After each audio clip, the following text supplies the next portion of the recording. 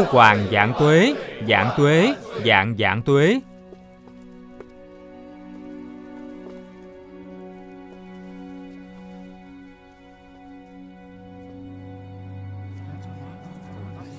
Sao vậy? Bệ hạ. Chúng thành Bình thân Tạ ơn dạng tuế Bên này. Mau tới đây. Đây này. Đây. Thái tử. Bên này. Thái tử. Bên này bên này. Không vui chút nào.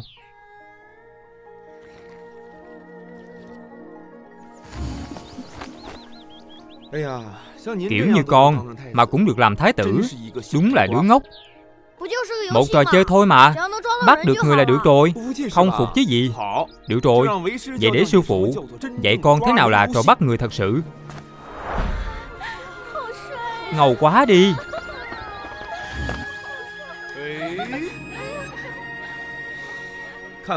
Nhìn đây.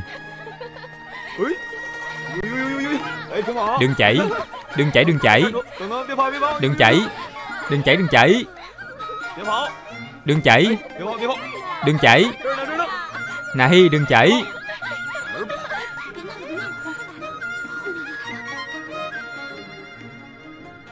Hoàng hậu nương nương thiên tuế.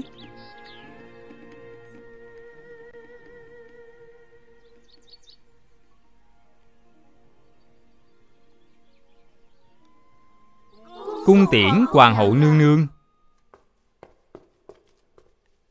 Bệ hạ. Bệ hạ.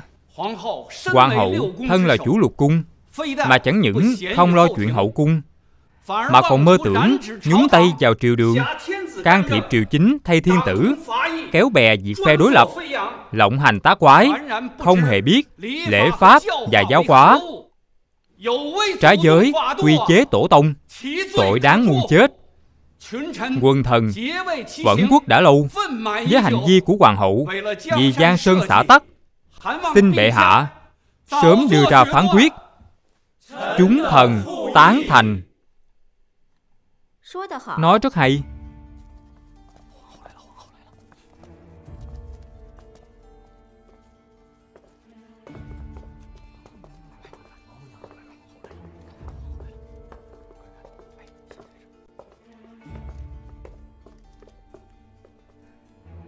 Vậy theo ý Tấn Dương, Bệ hạ nên quyết định như thế nào? Phế hậu.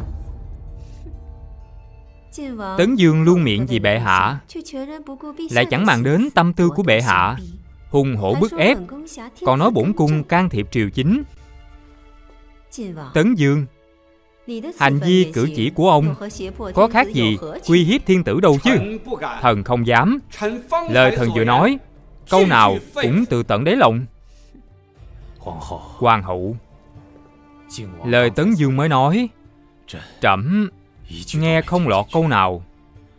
Trẫm Tuyệt đối không phế nàng đâu. Bệ hạ Bệ hạ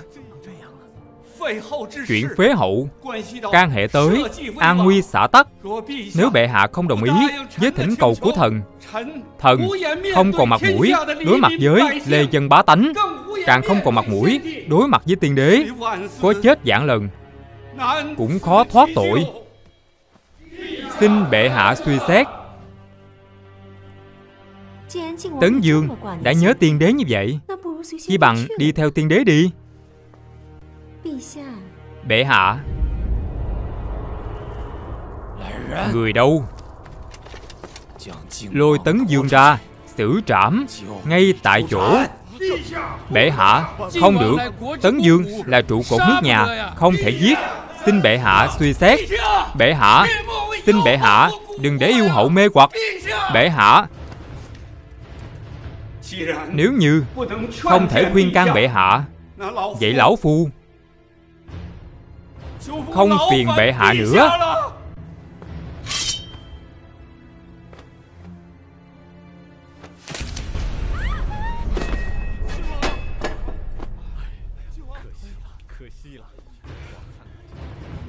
Bệ hạ Chuyện này Chuyện này là như thế nào Bệ hạ Tấn Dương mang lòng ngỗ nghịch Cả gan hành thích bệ hạ Đã bị thị vệ trừng trị rồi. Bệ hạ mệt rồi có đúng không? Để thần thiếp dìu bệ hạ đi nghỉ ngơi nha.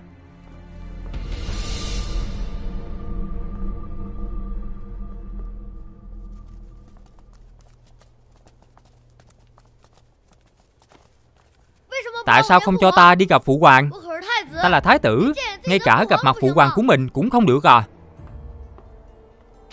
Hoàng hậu nương nương có chỉ Dạo này bệ hạ không khỏe Không tiện gặp ai. Thái tử điện hạ Vẫn nên về cho. Ta không cần biết là ý chỉ của ai Hôm nay ta phải gặp phụ hoàng. Hoàng nhi.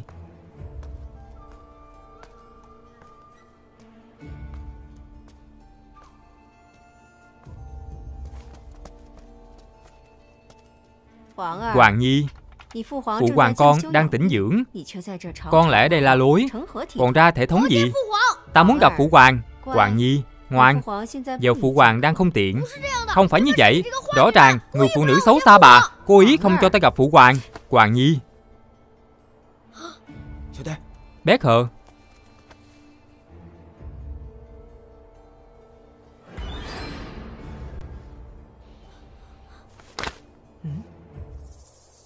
Mũi. Hoàng hậu nương nương Thần tội đáng muôn chết.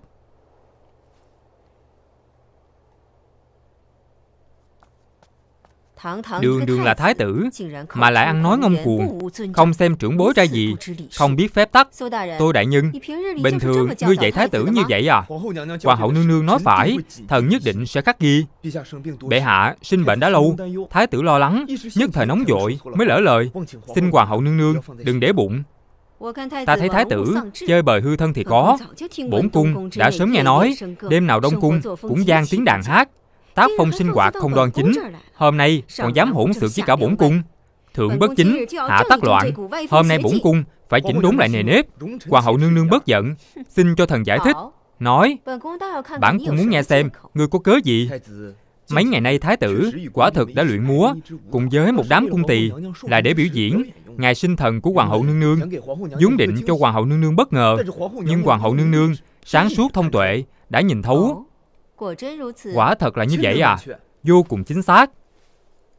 Đây là quà mừng của thần, Quà nhỏ mọn, Chẳng đủ lòng tôn kính. Đó là gì? Đây là phương thuốc dưỡng da cổ, Đến từ Tây Vực, Có công hiệu làm mềm dưỡng trắng, Đặc biệt là làm mờ sẹo.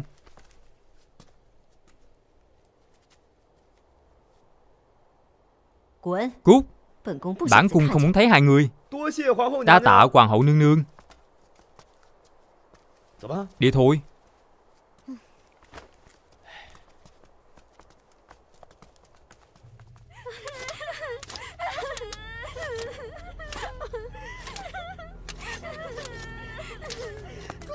Dừng tay. Lời thái tử nói Các ngươi không nghe à?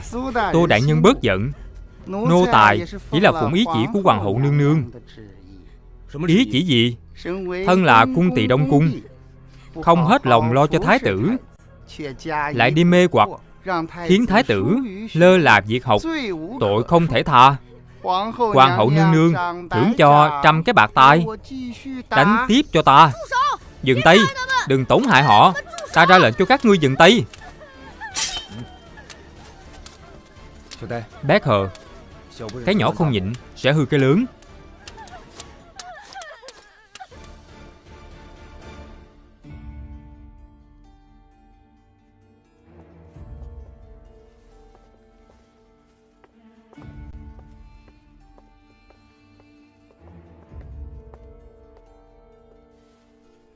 Lui đi Dân.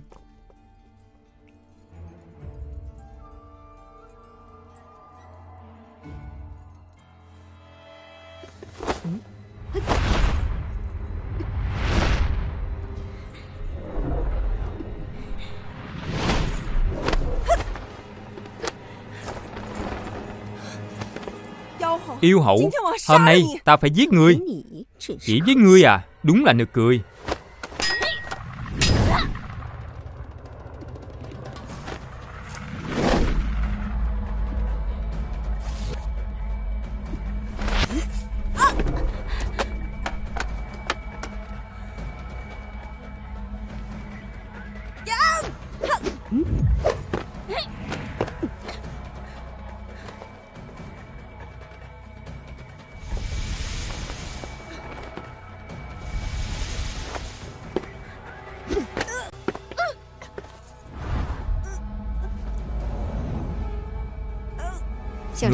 bổn cung còn rất nhiều. Bổn cung sẽ cho ngươi Một cơ hội nói rõ thân phận, Yêu hậu, Nghĩa phụ ta một lòng trung thành, Nhưng ngươi lại bức tử ông ấy Trước văn võ bá quan. Thì ra ngươi là người của Tấn Dương. Nếu ngươi trung thành như vậy, Bổn cung sẽ cho các ngươi Gặp nhau dưới suối vàng.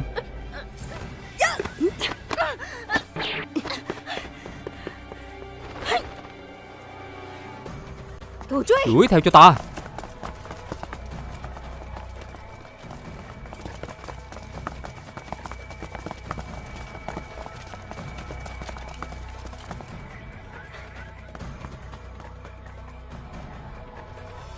Thái tử này, Con làm quá bức bối.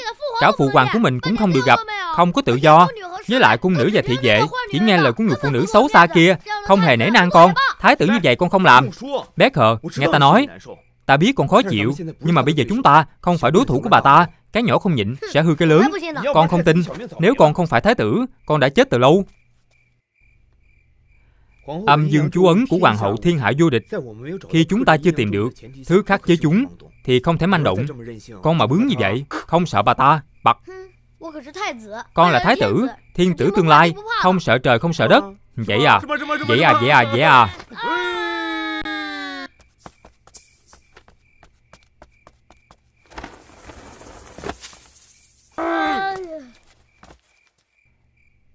Con có nghe thấy tiếng gì không?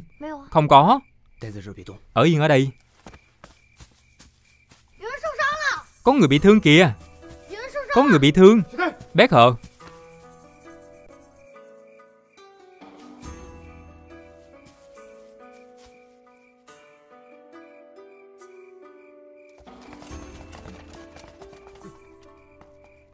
Đuổi theo. Sao trông quen như vậy Người quen à? Chỉ cảm thấy hơi quen quen.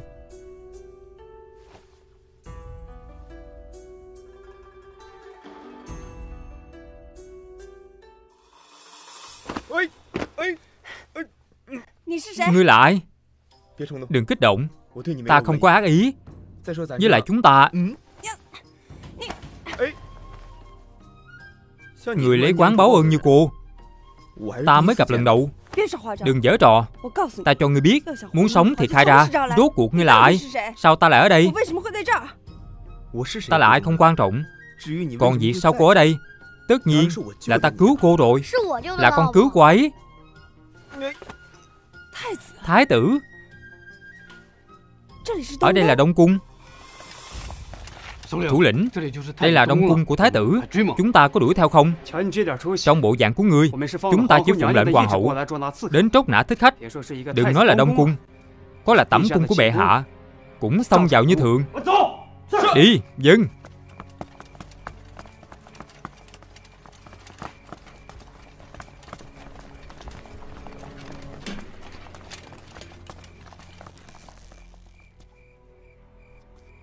Phóng tiễn. Bé khờ nằm xuống.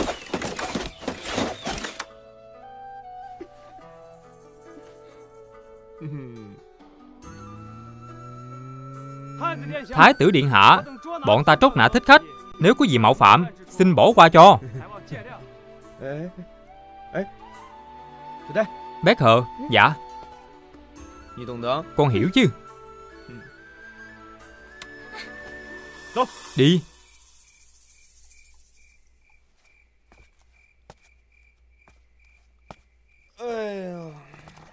Các người to gan thiệt. Không biết đây là Đông Cung à? Còn bắn tên vào đây. Xin tôi đại nhân bỏ qua. Bọn ta đang tốc nã thích khách đột nhập vào cung. Thích khách đó võ nghệ cao cường. Ta sợ làm ngài và thái tử bị thương. Mới mạo muội xông vào. Nếu ngài thấy có chỗ nào mạo phạm, Xin bỏ qua cho. Thì ra là đuổi theo thích khách. Chẳng lẽ đông cung của thái tử Thành hang ổ kẻ gian rồi à? Thuộc hạ không dám. Chỉ là Thứ này vừa khéo Xuất hiện ở bức tường ngoài đông cung. Để đảm bảo an toàn. Tôi đại nhân Không ngại cho ta vào chứ? Ta cần xem xét. Đây là đồ của thê tử ta. Đa tạ đại nhân. Nếu không có đại nhân Ta lại bị phạt quỳ rồi. Tô đại nhân Ta cũng chỉ phụng lệnh hành sự thôi. Xin ngài Đừng ngăn cản. Lục soát Mời.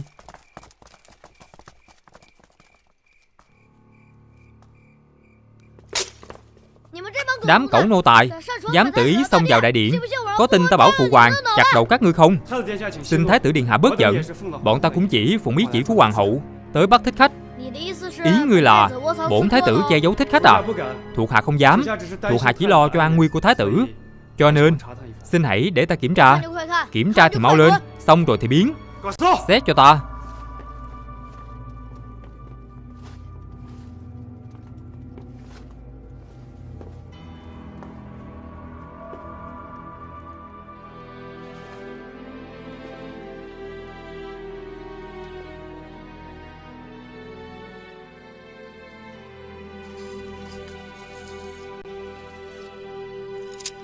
quan quan thư cưu tại hà chi châu yểu điệu thuộc nữ quân tử hảo cầu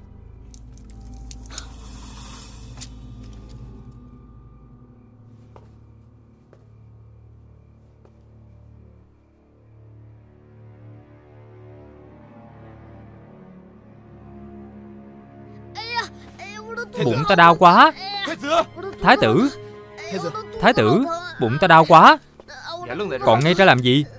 Nếu thái tử có mệnh hệ gì Người gánh có nổi không?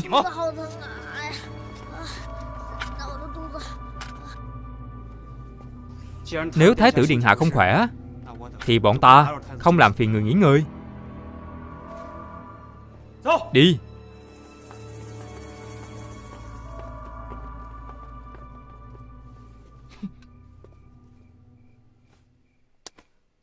Đúng là ăn hại chỉ một con nhóc Còn đang bị thương. Mà đến bây giờ cũng không tìm ra. Bổn cung cần các ngươi làm gì？Xin nương nương bớt giận。Chỉ có điều Đông cung là nơi của thái tử Giả lại Tô Đại Nhân cũng là thái phó。Do bệ hạ khâm điển Được bệ hạ trọng dụng Thuộc hạ lo. Ý ngươi là Sợ rằng bệ hạ sẽ phản đối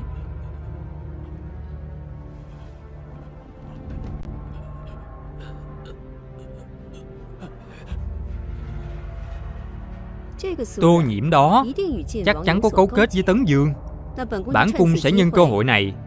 Một mẻ tóm gọn bọn chúng. Dạ.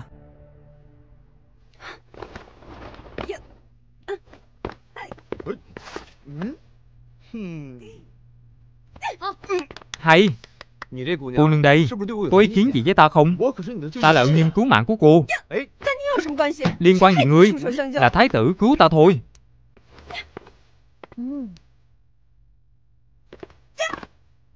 Ta cứu cô hai lần rồi nha Phải không? Nếu biết ngươi là tô nhiễm Ta đã giết ngươi từ lâu. Hay.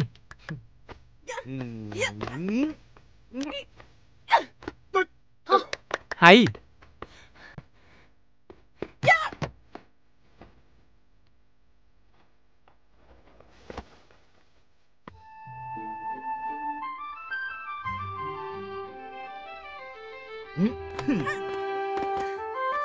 Bắt cô. Cô hận ta tới như vậy à? Thái phó của thái tử Được sủng sinh kiêu Gây họa cho Đông Cung. Chỉ việc này thôi Ta đã giết người trăm lần rồi. Đó là do cô không hiểu ta thôi. Chỉ cần cô chịu bỏ chút thời gian Không chừng sẽ không nở ra ta đâu. Nằm mơ.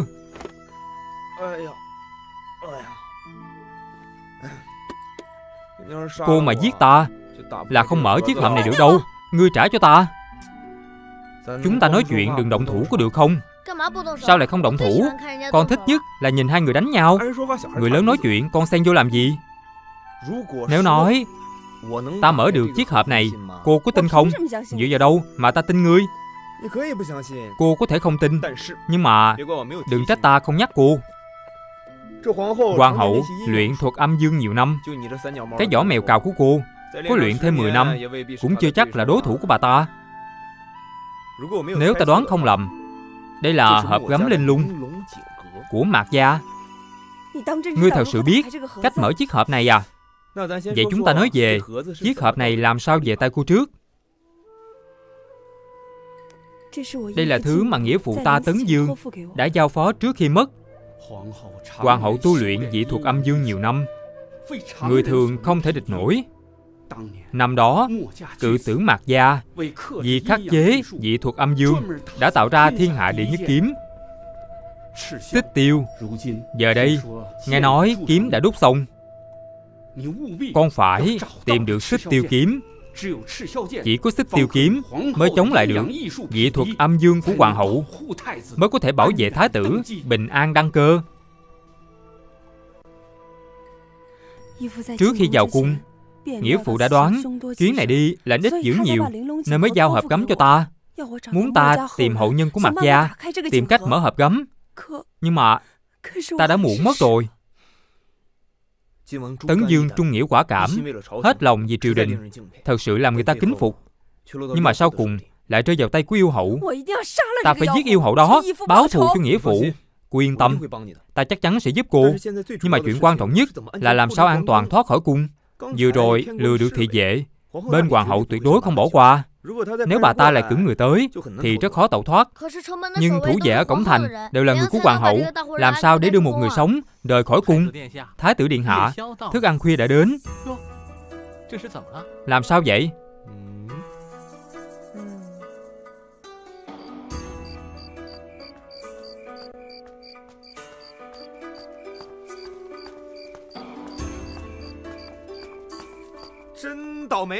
Xui quá Lần nào cũng là ta đưa thái phó xuất cung Thái phó lại say nữa à? Chứ còn gì nữa. Vất giả rồi. Đứng lại. Thái giám nhà ngươi. Ta chưa gặp lần nào. Ta là Người trên lưng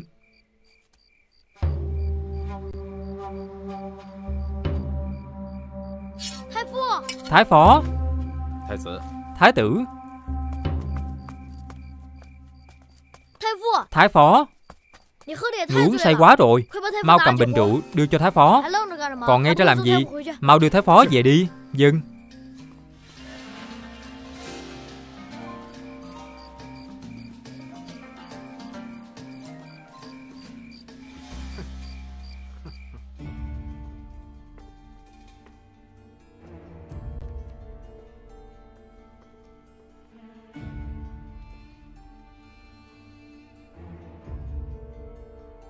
làm phụ nữ không thể lao lực được. Suy nghĩ nhiều một chút thôi là dấu vết hiện hết lên mặt. Nương nương sở hữu nhan sắc chim sa cá lặn qua nhiều nguyệt thẹn làm sao mà già được? Cái miệng của ngươi đúng là dẻo quá đi.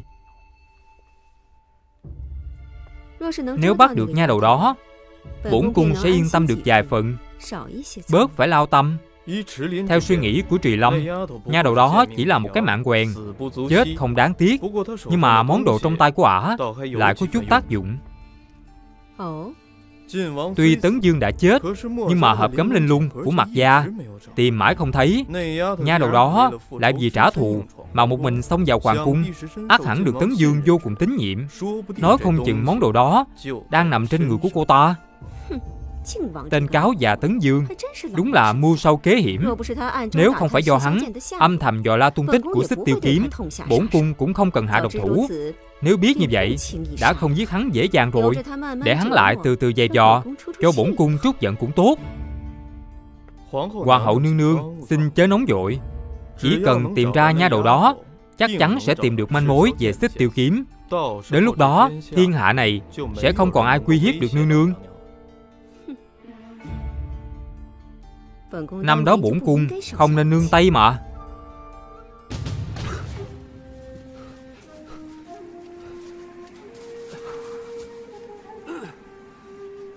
Chuyện tới nước này Ngươi còn muốn giữ đại nghĩa cho mình sao?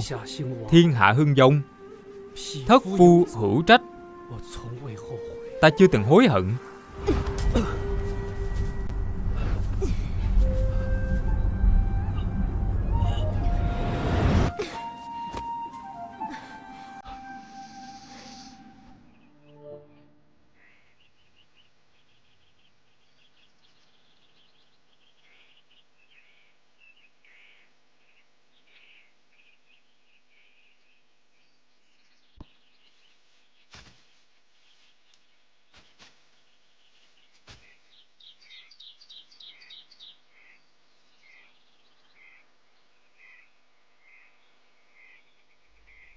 Chúng ta cùng rời khỏi đây, Tìm một nơi không có ai quen biết. Từ nay không màng thiên hạ, Là một cặp phu thê bình thường. Không tốt sao? Ta đánh giác mặt gia Và trách nhiệm thiên hạ. Sao có thể nói đi là đi? Vậy chàng nhẫn tâm, Nhìn ta gả cho người khác thật sao?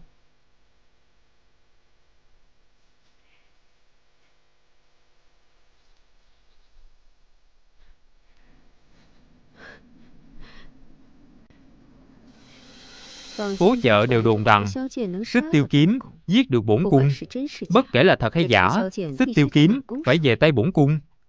Năm xưa, Bổn cung vì xích tiêu kiếm Còn chưa luyện thành, Đã có thể giết sạch mặt gia. Ngày nay, Bổn cung cũng không ngại giết thêm vài lần. Xin nương nương yên tâm. Trì Lâm đã phái người Theo dõi sát sao hai người đó. Hệ có tin, sẽ lập tức báo ngay. Có mua hay là không?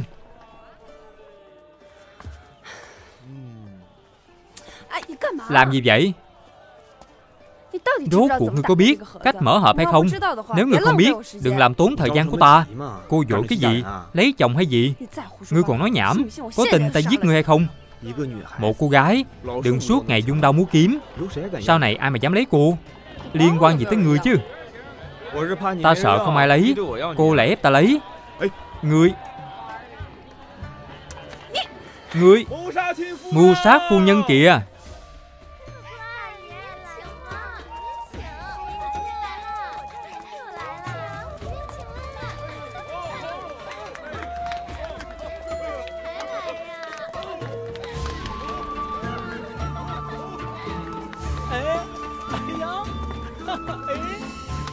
Tiểu bảo bối Đừng có ngại. Để đại gia thơm cái nào? Tay, tay Uống rượu thì thôi Sao lại động ta động chân? Để ta gặp lại ngươi. Ta sẽ đánh gãy chân của ngươi. Nguyệt ảnh. Tôi nhiễm ca ca. Lại nghịch nữa à? Muội là nặng hơn rồi. Rõ ràng là quên yếu thôi. Miệng mồm vẫn ghê gớm. Có nhớ ta không. Nhớ đâu.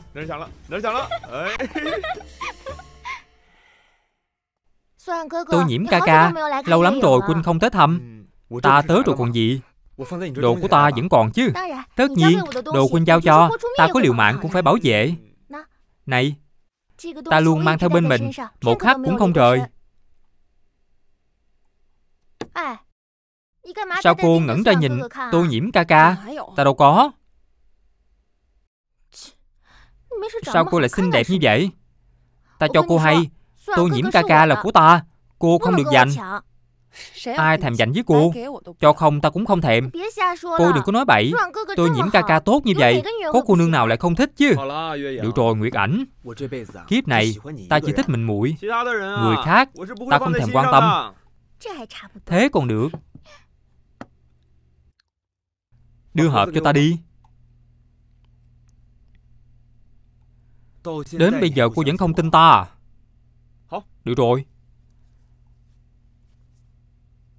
Lần này tin rồi chứ. Sao ngươi có miếng ngọc này? Chẳng lẽ ngươi là hậu nhân của mặt gia Lần đầu ta gặp cô Là ta đã bắt đầu nghi. Cô là người của phủ Tấn Dương. Sau đó tìm thấy hộp gấm linh lung của mặt gia trên người cô. Ta đã biết cô là con gái nuôi của Tấn Dương. Cho nên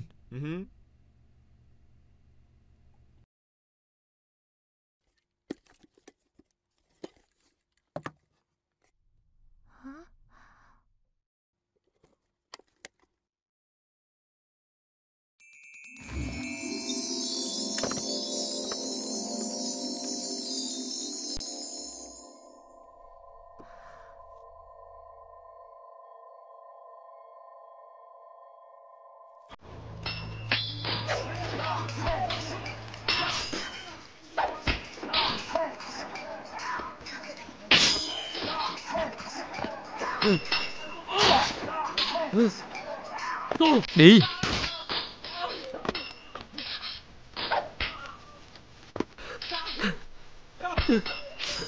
Cẩn thận.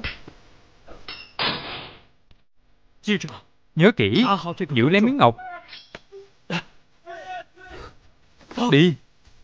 Đi. Đừng mà. Cha. Cha mau đi đi. Đi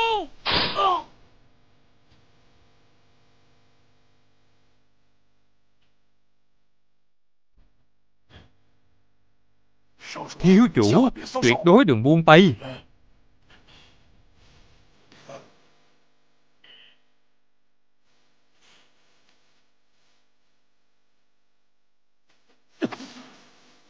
Thiếu chủ. Thiếu chủ Miếng ngọc này rốt cuộc có tác dụng gì?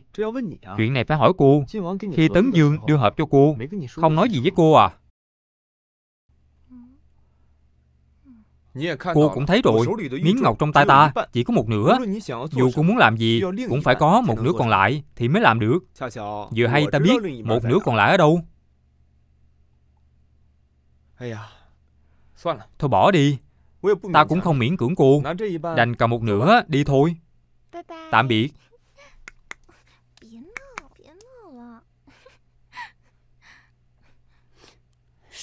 Là xích tiêu kiếm.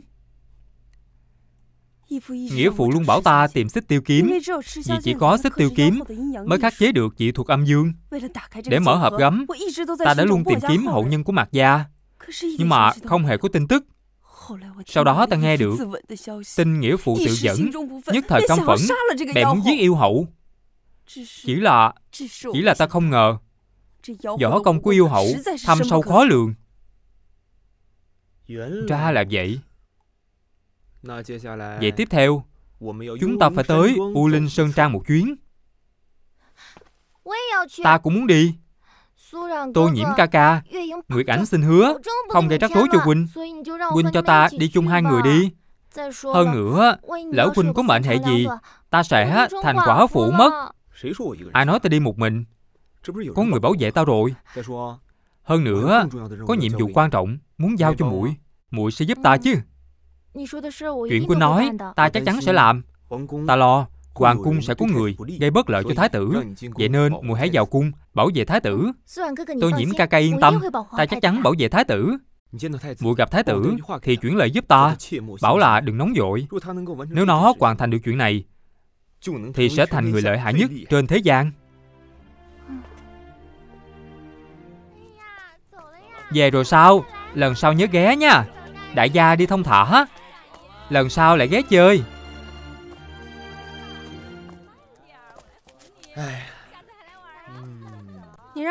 Ngươi bảo một đứa trẻ đi chăm một đứa trẻ à? Có quá tàn nhẫn không? Cô yên tâm. Nguyệt ảnh không yếu như cô nghĩ đâu. Ngươi Đứng lại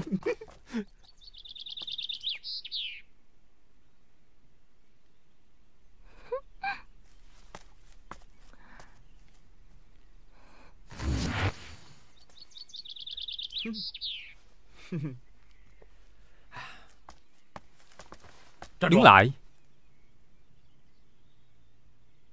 Có lệnh bài không? Lệnh bài. Làm gì vậy? Đây là Thái Phó Đại Nhân. Thái Phó Đại Nhân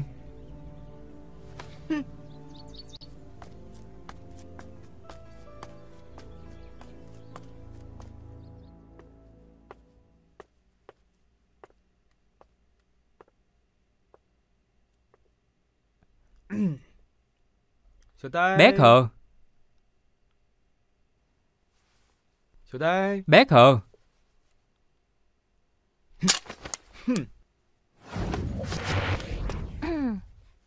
Lâu ngày không gặp. Để chào đón ta như vậy à? Sao lại là tỷ? Thái phó đâu? Ta cải trang như vậy để cũng nhận ra được. Chẳng lẽ quyển thuật của ta thuộc lùi rồi sao? Quyển thuật cỏn con. Muốn lừa bổn thái tử? Đúng là nực cười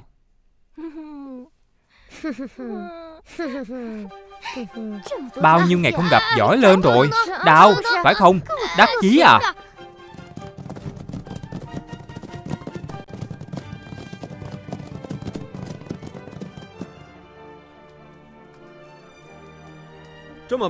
Khí thế như vậy Xem ra chúng ta tới đúng chỗ rồi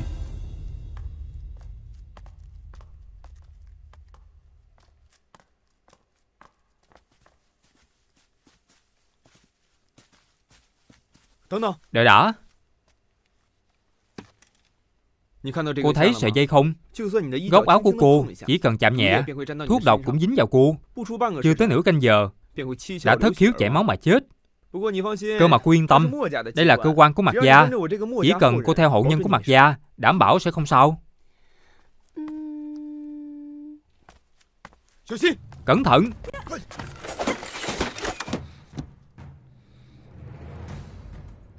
Người tới lại. Xông vào cấm địa U Linh Sơn Trang.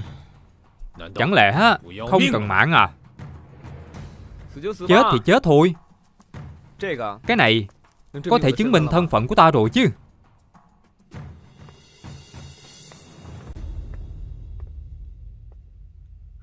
Thiếu chủ. Không sai. Là ta. Chắc ta được tính là người trong môn phái rồi chứ.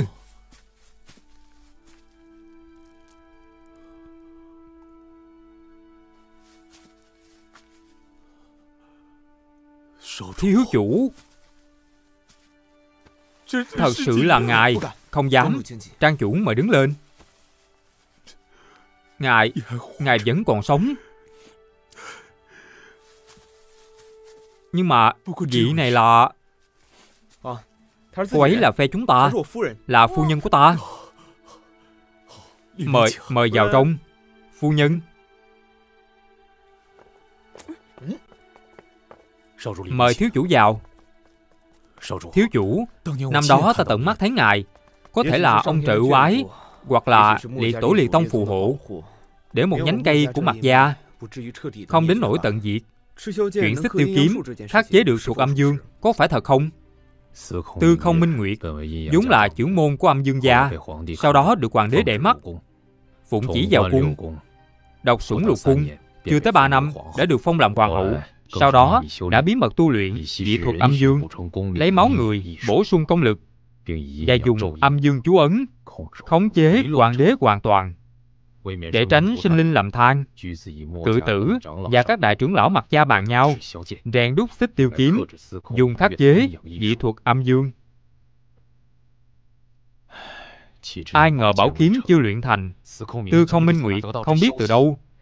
Hay tin này một câu nói đã đem tới quả sát thân cho Mạc Gia. Những năm qua, các trưởng lão chúng ta suốt mình trong sơn trang nhỏ bé này là để chờ thời cơ báo thù cho Mạc Gia. Chỉ là cự tử đã chết. Chỉ e trên đời này không còn ai có thể rút được bảo kiếm xích tiêu Cũng không thể đối đầu với tư không minh nguyệt Trang chủ, chẳng lẽ không còn cách nào? Dạo trước, bỗng nhiên nhận được tin của một người thần bí, nói là xích tiêu kiếm đã thông, ta bèn truyền tin ngay cho Tấn Dương. Ai ngờ, Tấn Dương sẽ không chết quan uổng, ta sẽ báo thù cho ngài.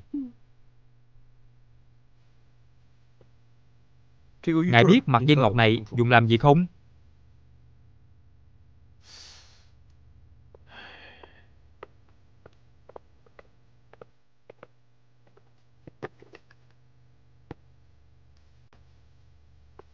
Năm đó khi mặt gia cự tử đúc xích tiêu kiếm để tưởng nhớ vợ đã mất, đã chế tính vật định tình, chia thành chìa khóa mở cấm địa của mặt gia, sử dụng đồng thời hai chìa khóa mới có thể vào cấm địa.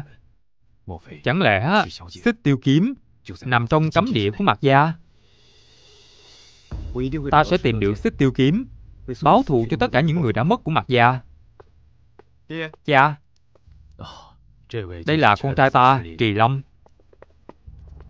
Đường tìm xích tiêu kiếm rất nguy hiểm. Có nó bảo vệ thiếu chủ Ta cũng yên tâm hơn. Từ nhỏ tới lớn Cha đã luôn căn dặn ta. Nói thiếu chủ là người U Linh Sơn Trang Phải bảo vệ đời đời kiếp kiếp. Nếu thiếu chủ không chê Không biết có thể đưa ta cùng tới cấm địa mạc gia Để ta thực hiện chức trách bảo vệ thiếu chủ của U Linh Sơn Trang. Vậy thì làm phiền thiếu trang chủ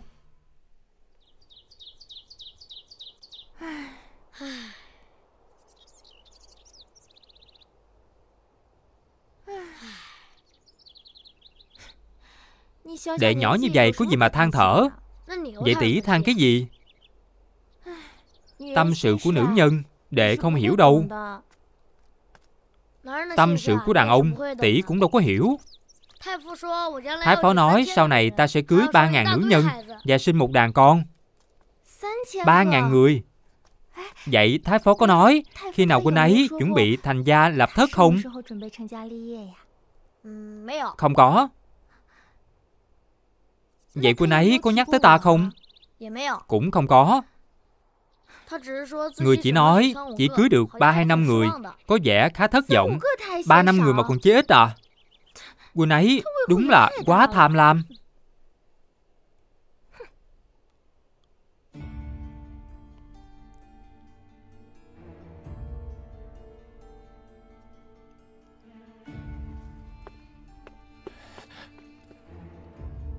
Khởi bẩm nương nương.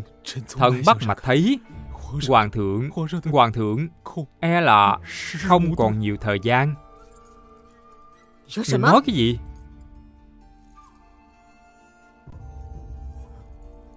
Đồ vô dụng. Giữ người lại làm gì?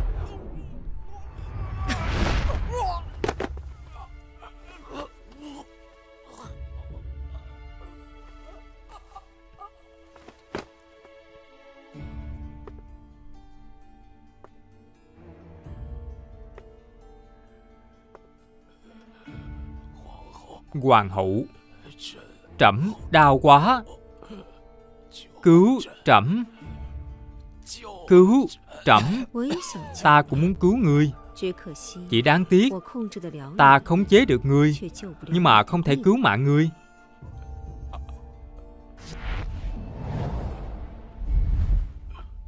Những năm qua, Cũng xem như là đã phát huy hết tác dụng chỉ là nếu ngươi đi như vậy Bổn cung phải mau đi tìm Người thay thế. Thái tử Sao thái phó chưa về nữa? Ta muốn đi tìm thái phó Để muốn đi đâu? Đừng có bướng nữa mà Tránh ra.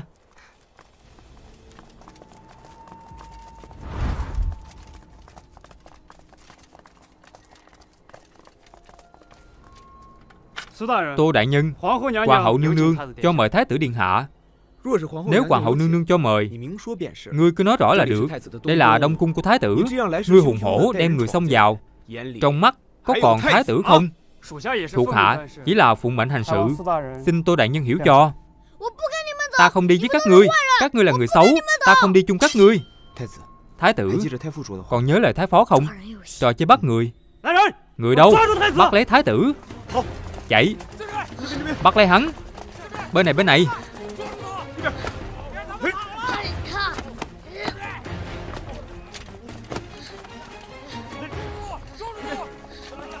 Cú đá lốc xoáy.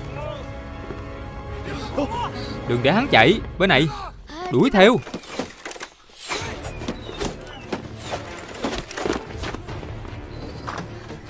Bên này, Được.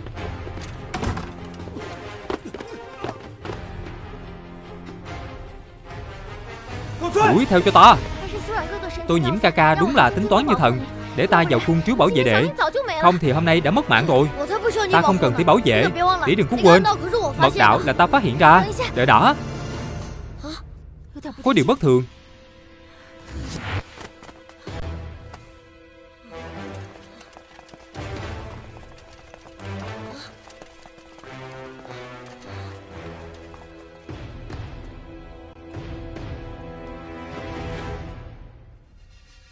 Thái tử muốn đi đâu？Hoàng thượng đã băng hà。Nước không thể một ngày không có vua Sau này con sẽ là hoàng thượng。Không được làm sằng làm bậy giống như hôm nay Hoàng thượng băng hà rồi sao Ngươi tưởng làm vậy là lừa được bổn cung à？Đã vậy Ta sẽ tiết kiệm sức để giết bà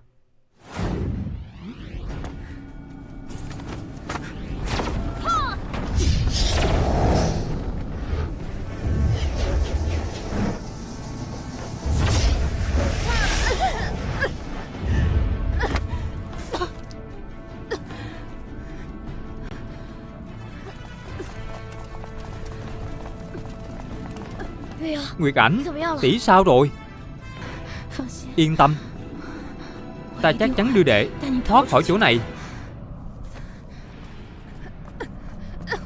Muốn cướp người từ tay bổn cung Đúng là không tự lượng sức Bắt bọn chúng cho bổn cung Mau đuổi theo Mau Mau đuổi theo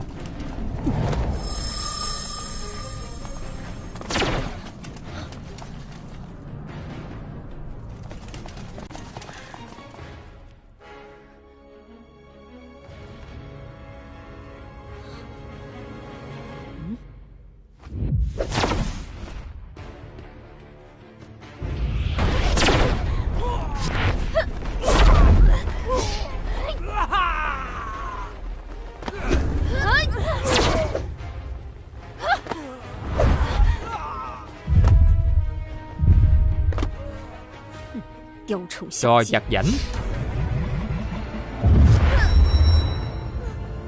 Di hình quyển ảnh của ngươi trả ra làm sao? Người phụ nữ xấu xa kia, Bỏ té ra. Nội công của ngươi cũng khá. Ngươi chắc chắn có thể khiến nội lực của bổn cung tăng lên.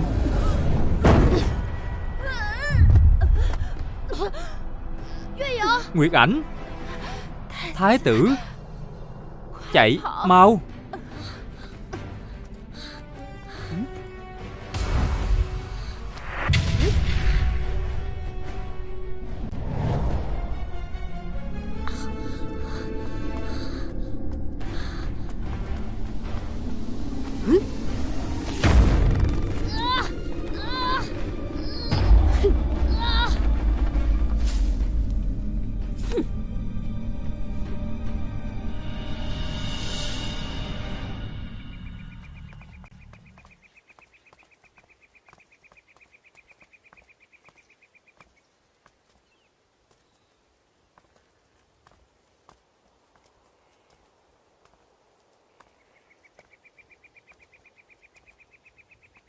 Thì ra đây là cấm địa của mặt gia. Bây giờ tới nhà chồng rồi Có hồi hộp không? Ngươi lại nói bậy rồi. Nói nữa ta sẽ không khách sáo. Ta đã nói cô là phu nhân của ta rồi. Cô muốn không khách sáo thì cứ không khách sáo. Nhưng mà phải nhịn trước. Ngoan Ngươi. Đừng nóng vội mà phu nhân. Đứng lại Phu nhân. Đừng nóng vội Coi chừng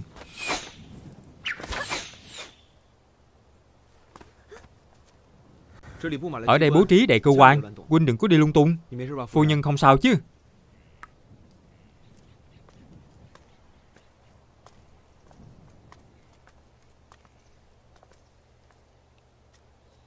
Cô biết đó gọi là gì không? Phu thê đồng lòng, đá vàng cũng nát. Ta nói, hai người đừng chỉ lo sát muối kẻ độc thân như ta có được không? Ở đây không có cửa làm sao mà dạo. Ở đây bố trí đầy cơ quan. Hệ có chút sai sót là tính mạng khó giữ. Vậy phải làm sao? Chờ.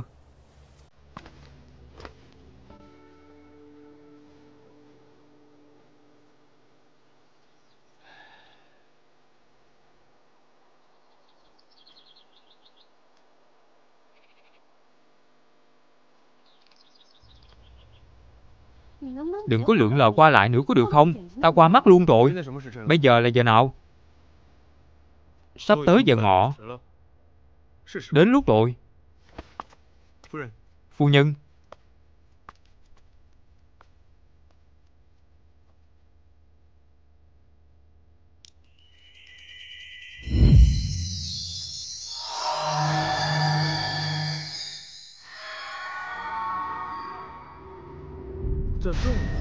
Mặt trời lúc chính ngọ lại mở được cơ quan của mặt da. Thuộc cơ quan của mặt da quả là kỳ diệu.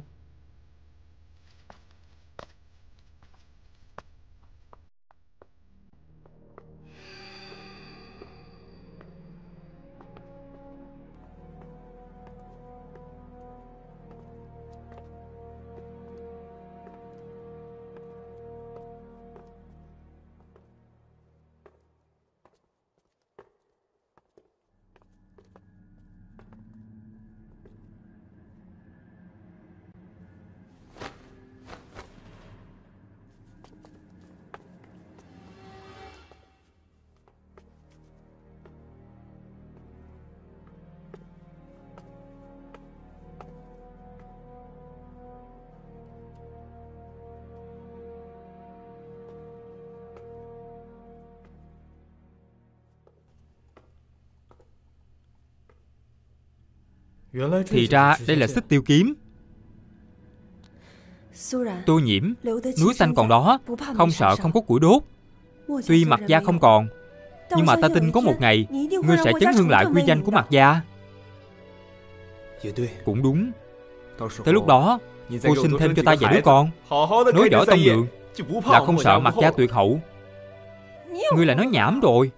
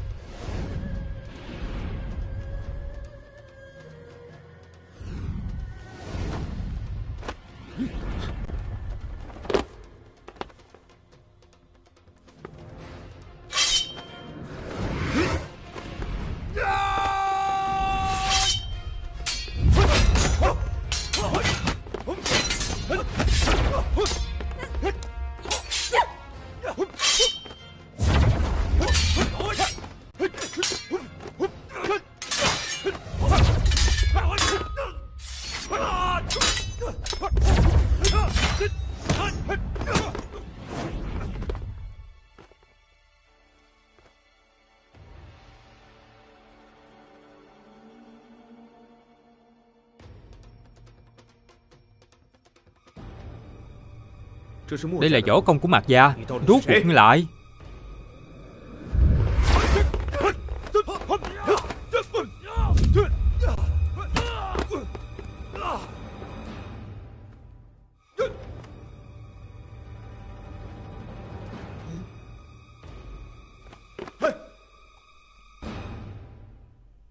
Phụ thân, Con là những gì?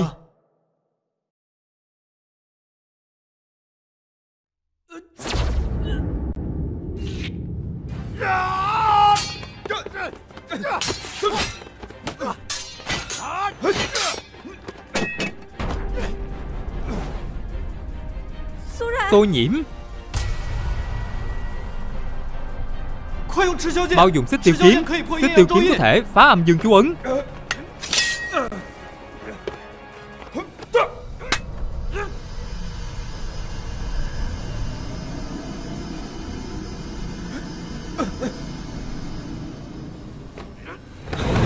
Phụ thân.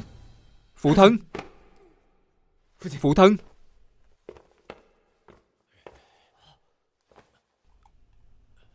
Phụ thân.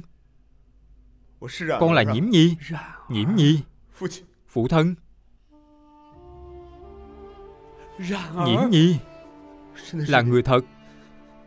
Chỉ cần có người Chúng ta chắc chắn có thể gây dựng lại mặt da. Phụ thân. Cha Đã là đèn cạn dầu.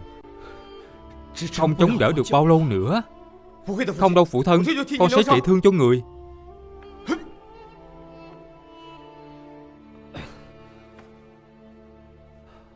Không cần đâu.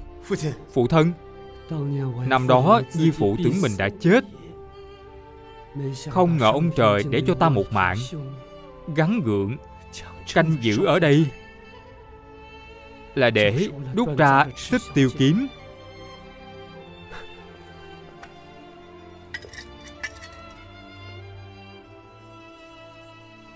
Bây giờ Xích tiêu kiếm đã làm xong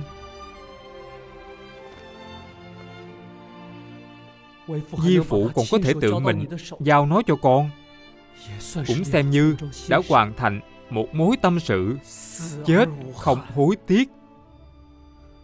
Phụ thân, Có xích tiêu kiếm Con chắc chắn sẽ giết được yêu hậu, Báo thù cho Mạc Gia. Còn nhớ lời dạy của tổ tiên Mạc Gia không? Lấy trời làm phép tắc. Yêu thương mọi chúng sanh. Dù cô ấy có phạm lỗi lớn cỡ nào Nhưng nếu thật lòng hối lỗi Thì vẫn nên chừa cho cô ấy một con đường sống. Phụ thân Nhiễm nhi nhớ rồi. Phụ thân Phụ thân Ngươi Cẩn thận. Thì ra ngươi là người của hoàng hậu Bây giờ mới biết Liệu có quá muộn không? Phụ thân Bí mật của xích tiêu kiếm Cô tưởng nam nhân tuấn tú Đều là kẻ bất tài sao? Phụ thân Phụ thân Phụ thân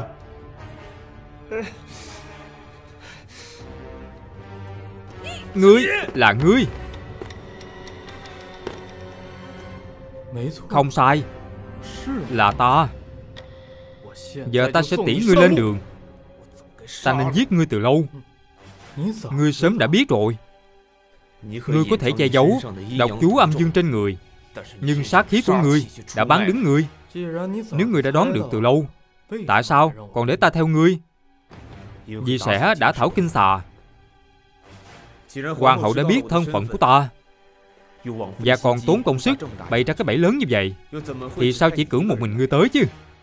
Huống hồ, Ta cũng không muốn tử hàng lo lắng. Không hổ là thái phó của thái tử. Quả nhiên, trí dũng song toàn. Đáng tiếc, Đây là lần cuối cùng Ngươi được dùng não. Người đâu?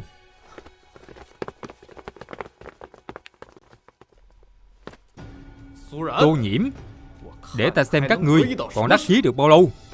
Không biết thiên hạ đệ nhất kiếm này Nếu nhuốm máu chân long thiên tử Thì sẽ như thế nào? Kiếp này ngươi không thấy được đâu. Vì ngươi sẽ chết ngay thôi.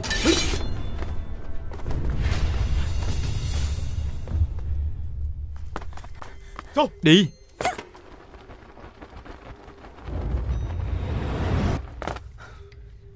Mặc kệ ta. Cô đi trước Quên quên rồi sao? Ta là phu nhân. Làm gì có phu nhân nào? Bỏ lại tướng công của mình.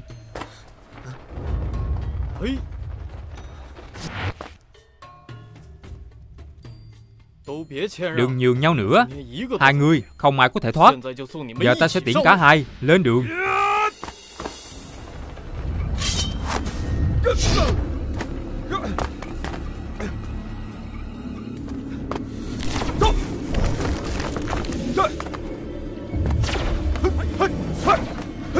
っ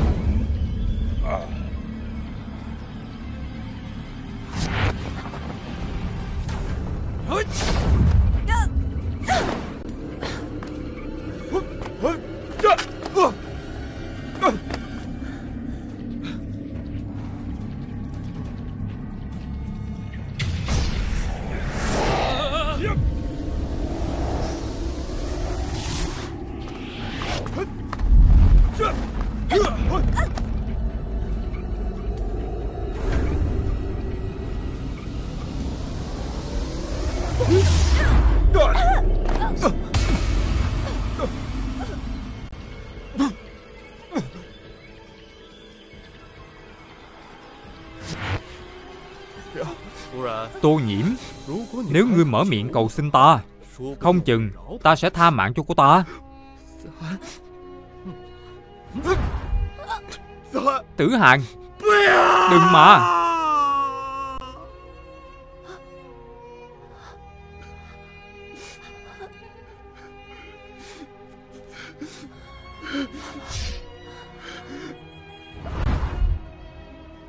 Tử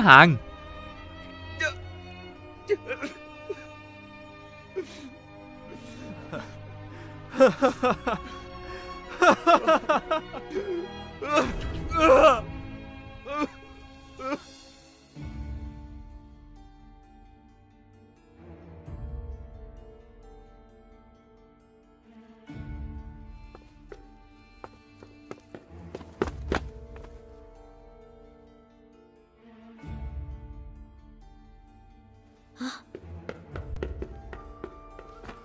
Thái phó Nguyệt ảnh chết rồi, Phụ hoàng cũng chết rồi.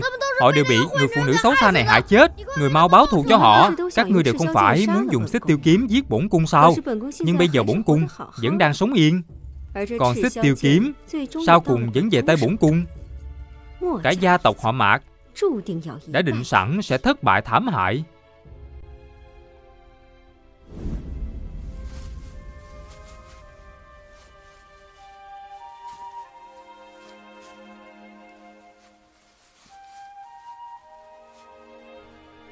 Chàng lại muốn giết ta.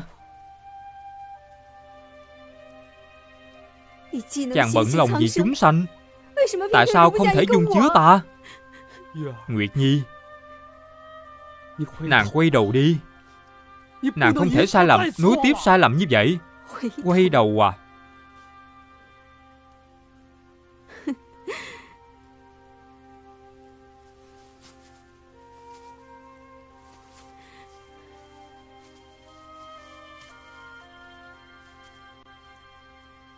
Nếu chàng theo ta Ta sẽ quay đầu.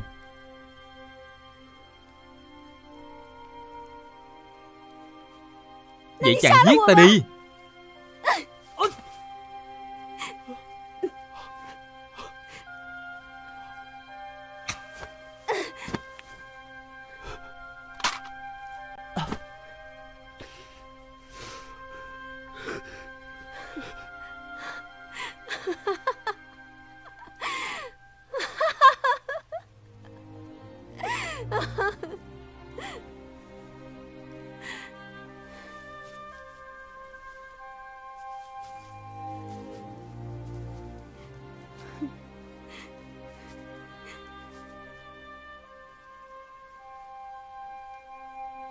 Hôm nay chàng không giết ta.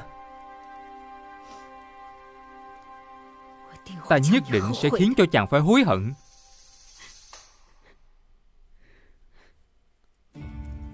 Mặc gia các người, Không phải thích nhất là phò trợ thiên hạ à? Kẻ nào cũng ra vẻ đạo mạo, Luôn miệng nhân nghĩa đạo đức. Ở ra là nói, Đại nghiệp thiên hạ là trách nhiệm. Ta cứ muốn chơi đùa thiên hạ này trong tay để các ngươi xem Không phải cứ ngồi trên lông ngai Là có thể làm chủ cả thiên hạ. Thái phó Người tỉnh lại đi. Đừng bỏ lại con. Mặc gia các ngươi Ai cũng muốn làm người trung nghĩa. Bổn cung cứ khiến các ngươi Đánh tội danh giết vua Mang tiếng xấu dạng năm. Ta không phải người trung nghĩa gì hết. Đời người ngắn ngủi. Ta chỉ muốn sống. Tiếng thơm hay tiếng xấu gì cũng kệ Hư danh cả thôi. Sau khi chết Đều là một nắm xương trắng. Ta cần hư danh làm gì? Được. Bổn cung sẽ cho ngươi cơ hội. Nếu ngươi chịu giết thái tử Bổn cung sẽ giữ mạng cho ngươi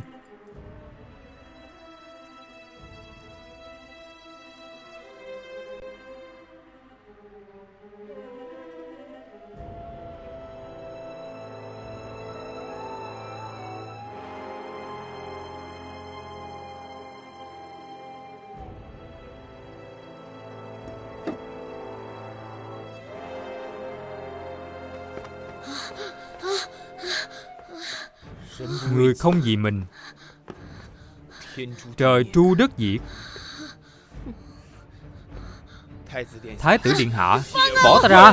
Đừng trách ta.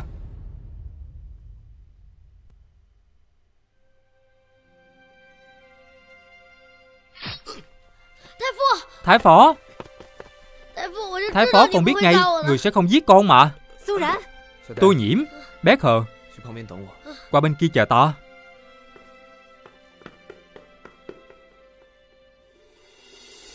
Tên ta không phải Tô nhiễm Ta tên Yên nhiễm。Ta không muốn làm hiền nhân nghĩa sĩ gì cả。Ta chỉ muốn giết bà。Vậy thì cứ thử xem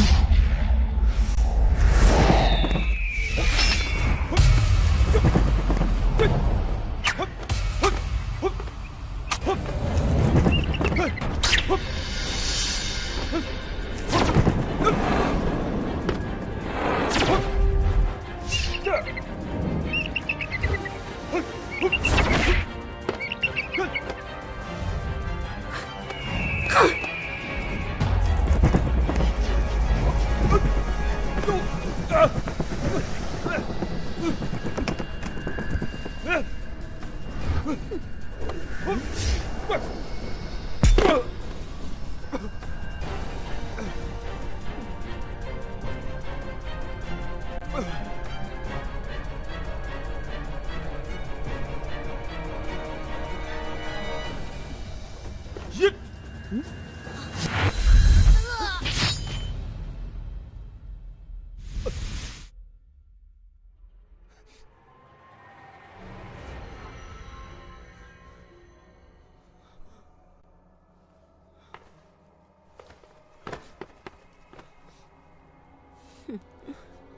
Con sẽ không bỏ lại thái phó đâu.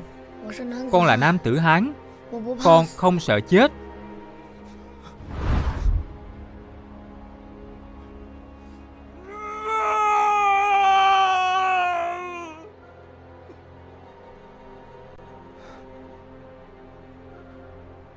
Ta thua rồi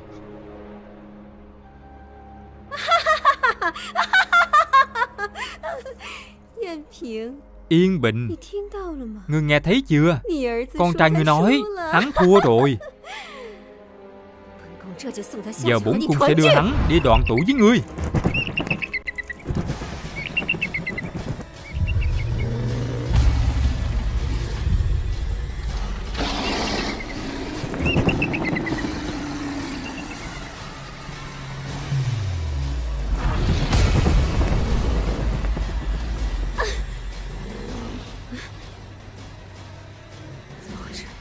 Có chuyện gì vậy?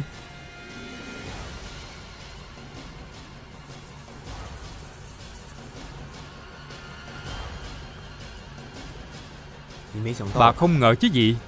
Xích tiêu kiếm Phong ấn khí chân lông Chỉ có máu của thiên tử Mới mở được phong ấn. Mà bạch long Chính là khắc tinh của hát phượng. Ngày chết của bà tới rồi.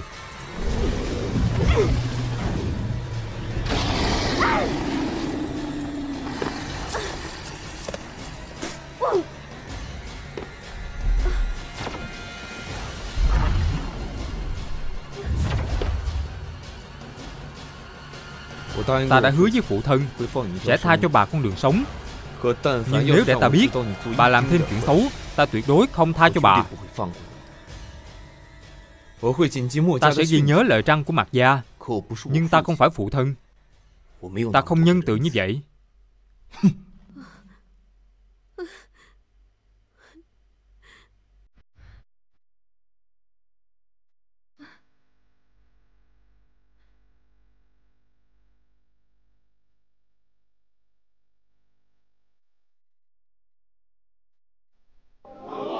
Ngô hoàng dạng tuế, dạng tuế, dạng dạng tuế.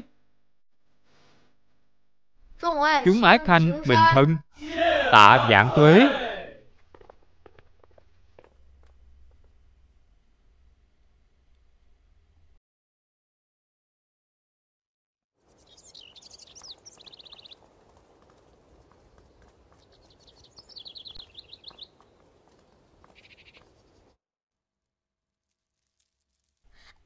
Cái ghế này khó ngồi quá Đau hết cả mông. Con có thể không ngồi không? Tất nhiên là không. Khó khăn lắm ta mới đưa con lên vị trí này. Nếu con dám tùy tiện bỏ đi Xem ta có đánh vào mông con không? Thái phó Vừa rồi con thể hiện thế nào? Có giống hoàng đế không? Cũng tạm tạm. Con còn nhỏ Làm hoàng đế cũng là một môn học. Thứ phải học còn rất nhiều. Từ từ mà phát huy. Vậy thái phó sẽ dạy con suốt chứ Thái phó, con có một thắc mắc. Khi người lấy kiếm đâm con, có phải đã biết con sẽ không chết không?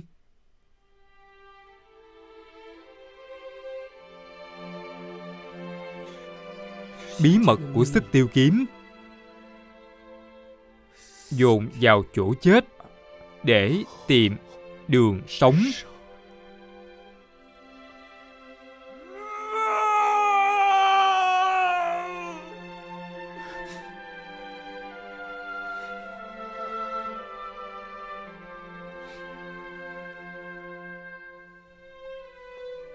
Đúng là không thoải mái cho lắm.